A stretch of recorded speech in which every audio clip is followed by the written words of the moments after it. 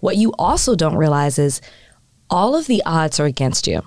You are not meant to be, honestly, you are not meant to have a successful relationship. Right. So when you see it happen, like you guys, and I'm talking like to our listeners, when you see it happen, please know that the work was put in to make that relationship successful. Mm-hmm. It's not like this magical experience where it's like, you know, you have to watch your significant other navigate 30 plus other relationships. You have to relive that experience when you've been living outside of it for months. Mm-hmm. You have to deal with millions of people having their outside opinions on your relationship. Mm-hmm. Then you have to convince your family because sometimes your family, like for oh, us, we had to say, I remember my dad was like, you guys are infatuated with each other. Give it a year and then we'll see where you are. So it's like you're trying to convince so many people Right. of what you have.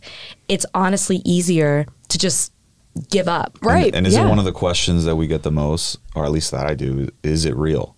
Yeah. Is the mm-hmm. bachelor is the bachelor oh, yeah. real? Totally, Yeah. yeah. They think it's all scripted and fake, and that like you have this certain time frame or contract that when it's done, it's like you do whatever. Yeah.